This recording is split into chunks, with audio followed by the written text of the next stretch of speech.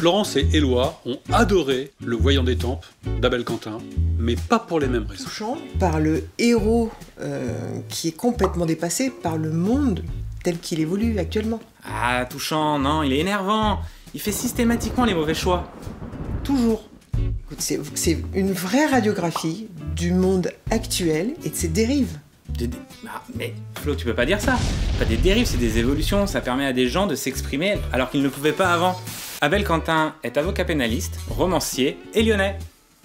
Le Voyant des Tempes est un des romans les plus remarqués de la rentrée littéraire et il figure sur de nombreuses listes de prix. Pour vérifier si vous penchez du côté Éloi ou du côté Florence, le mieux, c'est de venir retrouver Abel Quentin et d'échanger avec lui le vendredi 19 novembre à 19h à la Maison Jaune.